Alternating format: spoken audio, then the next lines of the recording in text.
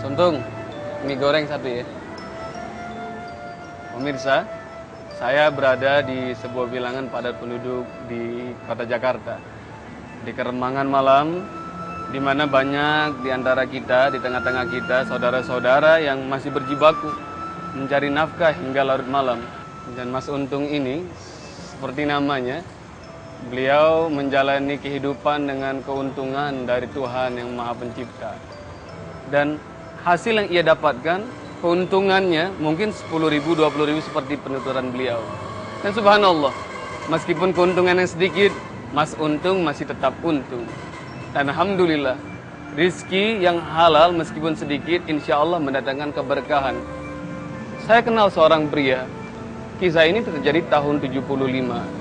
Seorang pria yang bernama Abdul Khair, bekerja di sebuah bank milik pemerintah di bilangan Jatinegara. Beliau adalah orang yang sopan, santun, ramah, menyapa nasabah. Dia hanya seorang pria di antara para gadis teller.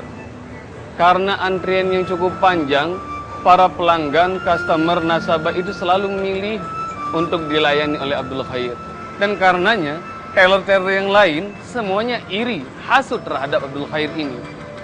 Hasut itu semakin memuncak sehingga mereka menghasut pimpinannya untuk memindahkan, memutasi Abdul Khair yang tadinya ada di front office menjadi di back office. Maka tadinya ia melayani nasabah retail, kali ini ia memberikan jasa layanan clearing bagi nasabah-nasabah korporat. Namun, orang baik dengan keimanan yang bagus akan senantiasa mendapatkan ujian dari Allah Subhanahu wa taala. Pemirsa yang dicintai Allah Subhanahu wa taala, maka saat itu yang dilayani oleh Abdul Khair adalah mereka yang berasal dari kalangan korporat, bukan lagi dari retail. Dan setiap kali ada cek yang diurus oleh Abdul Khair keliringnya, mereka selalu memberikan uang tips kepada Abdul Khair. Banyak orang yang mengira bahwa uang tips itu adalah halal, akan tetapi berbeda bagi Abdul Khair. Berkali-kali setiap orang memberikan tips atas jasa yang ia berikan kepada nasabah, maka Abdul Khair selalu menolak tips-tips tersebut. Hingga satu saat, seorang nasabah begitu kukuh, bersikeras, ia ingin memberikan tips tersebut, maka Abdul Khair ketangkap basah oleh pimpinannya saat ia menolak pemberian dari nasabah tersebut. Dan akhirnya Abdul Khair dipanggil dan diperingatkan. Wahai Abdul Khair, kalau engkau tidak mau menerima atau membawa pulang uang-uang itu, kumpulkan saja di lacimu. Jangan membuat nasabah kita malu sehingga mereka pulang dengan wajah yang merah. Maka mulai sejak saat itu, karena diperintah oleh atasannya, Abdul Khair menerima setiap tips namun ia tidak pernah bawa pulang, ia kumpulkan di laci kerjanya. Pemirsa yang dicintai oleh Allah Subhanahu wa taala. Maka ketika suatu saat Abdullah Khair menghadiri sholat Jumat di sebuah perusahaan di sebelah kantornya. Ketika itu suara sunyi senyap, hanya suara khatib menyampaikan khutbah yang ia dengar. Saat itu Abdul Khair yang tengah menundukkan pandangannya menyimak dengan baik khutbah sang khatib. Khatib bersuara dengan lantang menyampaikan sebuah hadis dari Rasulullah sallallahu alaihi wasallam yang berbunyi kullu lahmin nabata min haram fannar aula bihi. Yang artinya setiap daging yang tumbuh dari barang yang haram maka nerakalah tempat yang pantas baginya. Suara khatib bergema dengan begitu kencang di telinga batin Abdullah Khair. Maka ketika itu, ia menengadahkan kepalanya. Ia dapati wajah yang serius dari mimik sang khatib. Ketika itu sadarlah Abdullah Khair bahwa ini adalah teguran Allah baginya. Maka ia terpekur. Dia berucap istighfar, badannya berguncang, takut akan azab Allah Subhanahu wa taala. Terjadilah kasyaf, maka Allah hadirkan neraka jahanam di hadapan dirinya satu persatu wajah orang-orang yang ia cintai, istrinya, ketiga putranya, Allah jerumuskan dalam api neraka dan mereka teriak, Ayah, kenapa kami dijerumuskan dalam api neraka? Kejadian itu, tayangan itu membuat tubuh Abdul Khair semakin berguncang dan buliran air mata menetes deras di pipinya. Pemirsa, usai sholat Jumat, sang khatib menghampiri Abdul Khair yang dengan tubuh masih berguncang. Ia sapa dengan lembut. Ada apa saudaraku?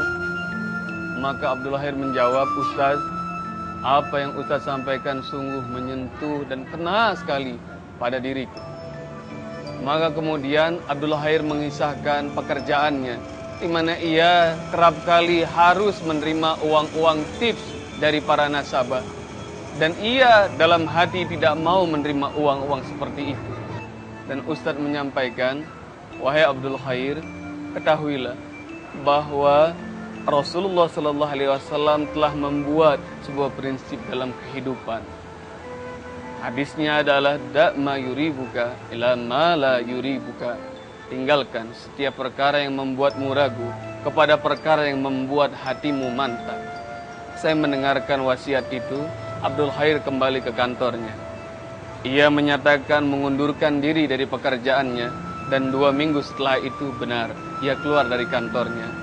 Beberapa saat, sebulan, dua bulan, mungkin lebih, Abdullah Khair tanpa pekerjaan dan tidak ada nafkah yang diberikan kepada keluarganya. Namun, pemirsa, siapa yang mampu meninggalkan hal yang haram karena takut pada Allah, Allah akan membentangkan segala karunia dan nikmat baginya. Tahun 75, Abdul Khair keluar dari pekerjaannya karena takut mengerjakan yang haram. Tahun 83, hanya selang enam tahun, Abdul Khair telah mengoperate sebuah perusahaan ekspedisi laut milik mertuanya. Tujuh kapal laut ia operate, tiga di antaranya milik Abdul Khair dan tahun 83. Abdul Khair beserta istrinya menjalankan ibadah haji ke tanah suci. Lihat bagaimana kalau orang yang mampu meninggalkan yang haram pasti Allah akan menggantinya dengan rizki yang berlipat ganda.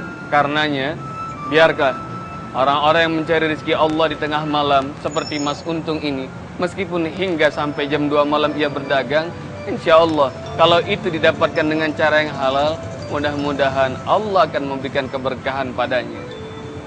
Untung, udah matang belum? Pemirsa, Izinkan saya untuk menyantap buah karya dari tangan Mas Untung yang mudah-mudahan memiliki keberuntungan dari Allah Subhanahu wa taala.